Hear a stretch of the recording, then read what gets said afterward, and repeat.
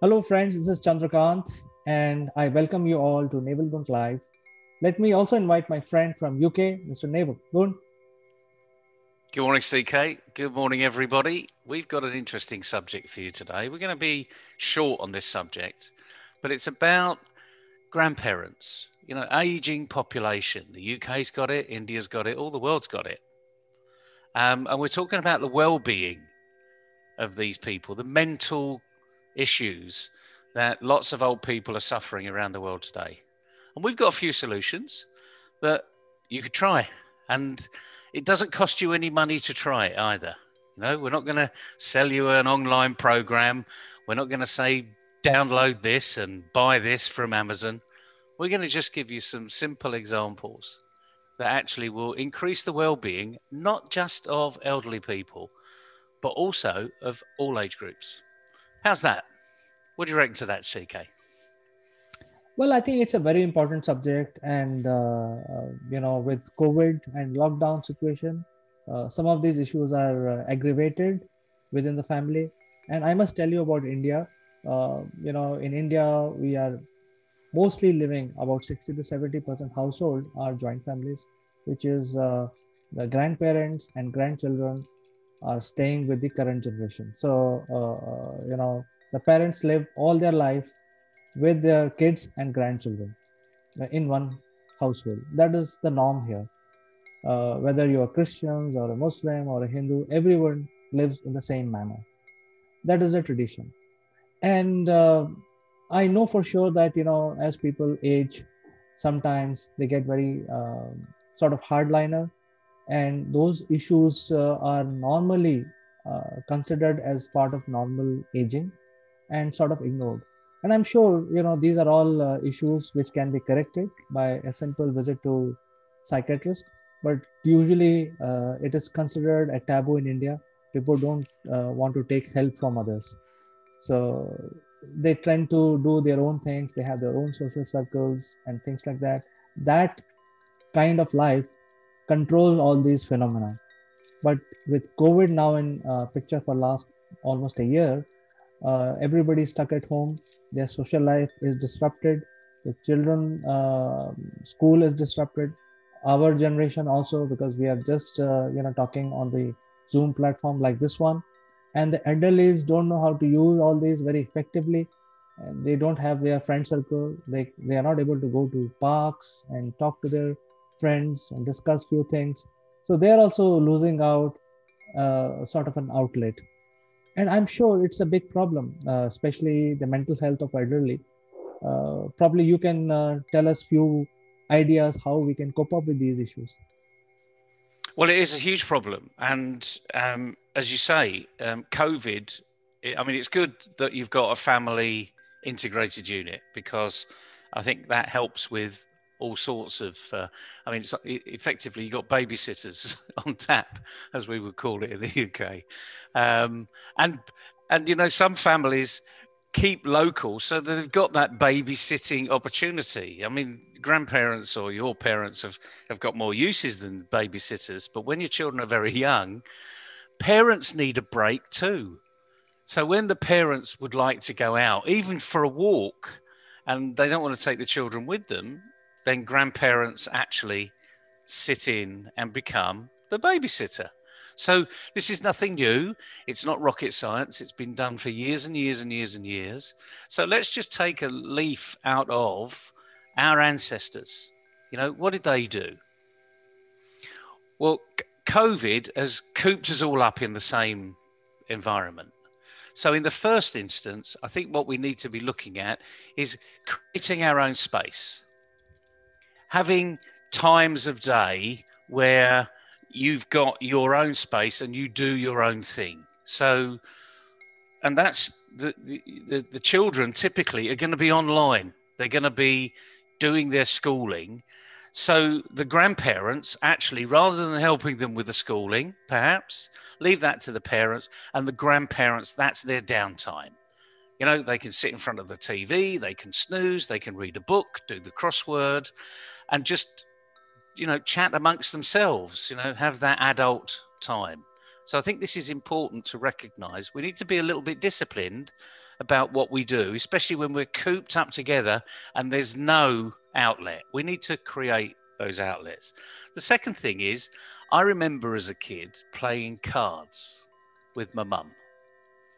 And we would, after, after dinner, or as we called it, tea, um, after about five o'clock, we'd all do the washing up and then we'd sit round the table. And we've already done our homework because we've been home from school. Uh, we'd sit around the table, we'd play cards. I remember playing a game called Newmarket which had four cards on the table and you just literally played cards. And it was great fun. We cheated like everybody else. We laughed like everybody else. My mum laughed. And when, on an odd occasion, one of my grandparents was staying with us because they lived like 400 miles away, then my, my nan would laugh too. And she'd be one of the best at cheating Okay, she'd be teaching us cheats we'd never even thought of. And it's fine because cheating's part of the game. You know, it's having a little bit of fun. There's nothing wrong with it. That worked for us. It could work for you. And I know, CK, it actually works for you because you started to play cards with the kids and your parents.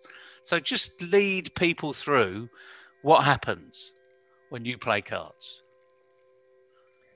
Yes, in fact, uh, uh, we had this issue where we were not able to find time to communicate with each other because uh, to handle these issues, I think communication is the key.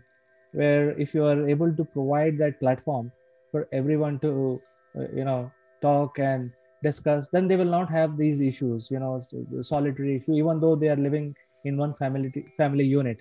So we we thought that after dinner we will play cards and that will give us a family bonding time uh, every night every day after dinner so you know we started it it is actually very interesting everybody is laughing on the table uh, every hand that we play there is you know kids are very smart smartest of the cheats on the table they learn very fast uh, you know so those kind of things are happening every hand we are laughing as a family and we do know that laughter, you know, is a good mental health medicine. You know, it's the cheapest medicine out. And the nice thing is, when everyone joins in, you can't stop the laughter. And I bet there are occasions in your family where you laugh for absolutely no reason whatsoever, and it, and everyone laughs. And then, but you never say what were we laughing about. You just get on with it, and you you enjoy the next laugh. You are your own set of comedians, really and you anyone can do this. It doesn't cost anything to do, and you could do. You don't have to play cards. You could do a crossword. You could create a crossword.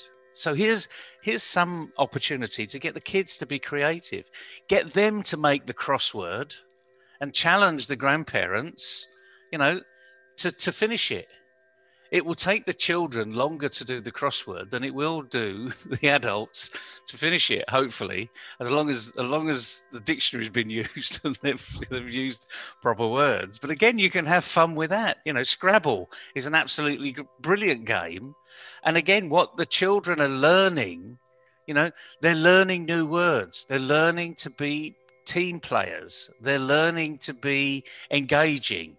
They're learning to listen, to have fun and those are some characteristics that we we sadly lack actually in the workplace. So there are so there's so many things you could get a hold of, and there's another one is where a lot of old people do miss their old friends. They can't go to the coffee shop, you know, and and meet you know their friends on a regular basis.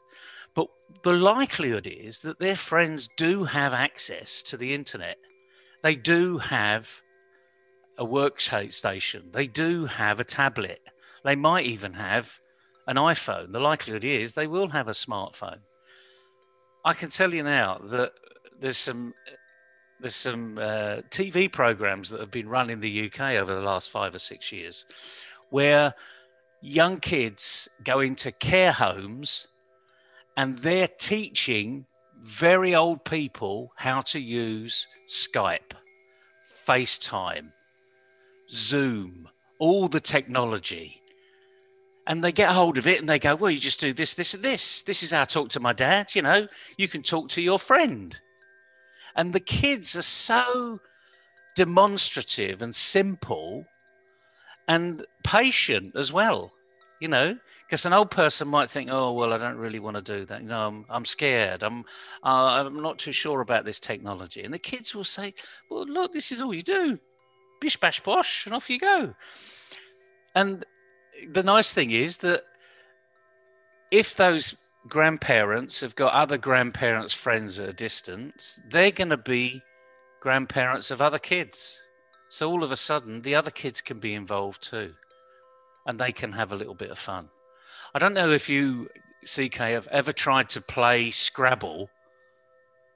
You know, with your kids play Scrabble with their friends, you know, in other houses. I mean, even next door.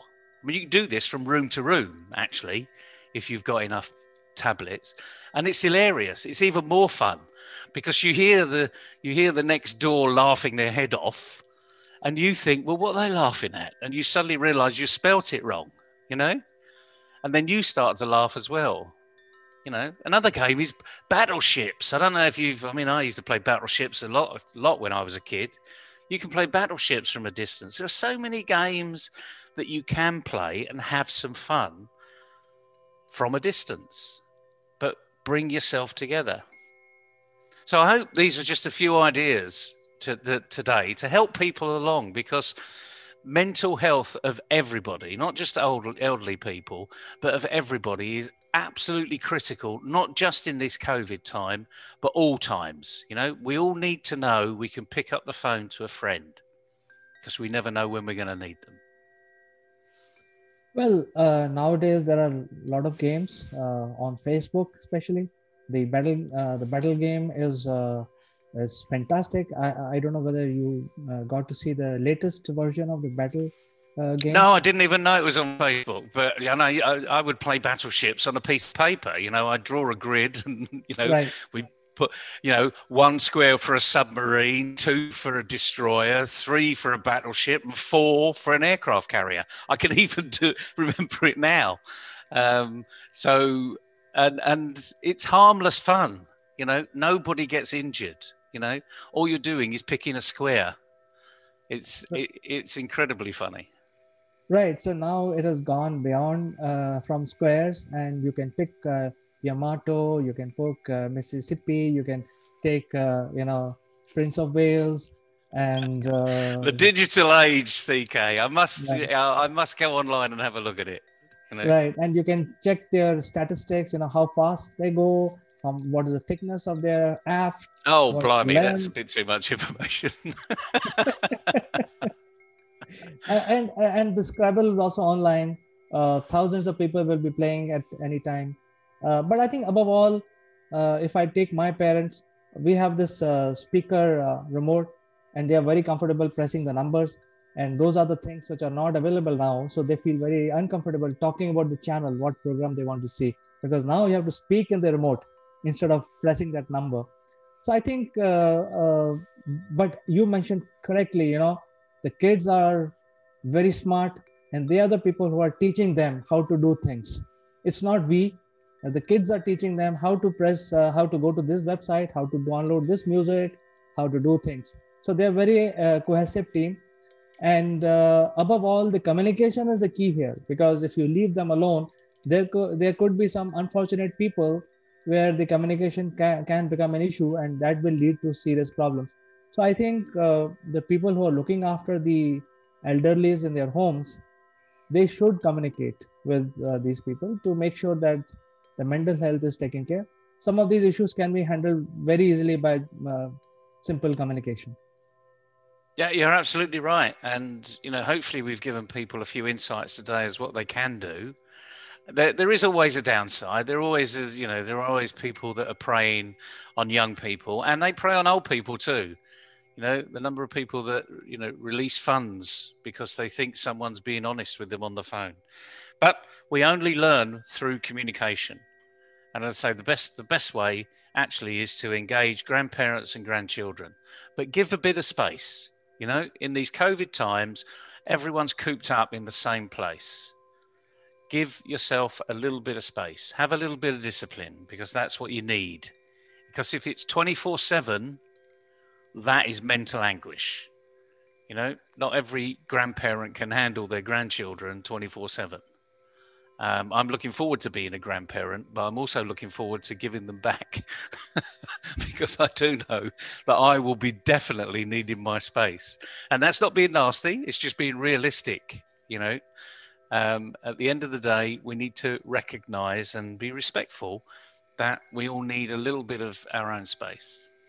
But it's a fascinating subject. We can do so much for mental health without going to see a psychiatrist, without going to see a, do- a doctor those are the, in in serious cases yes you should go there you know it's a bit like if you break your leg you know don't strap it together and think it's going to be okay you need to go to the hospital to get your leg fixed but there's a lot of mental health a little bit of anxiousness a little bit of um, oh being overwhelmed getting angry from a you know antsy from time to time these are things that we can deal with on, a, on an ongoing basis and grandchildren love their grandparents.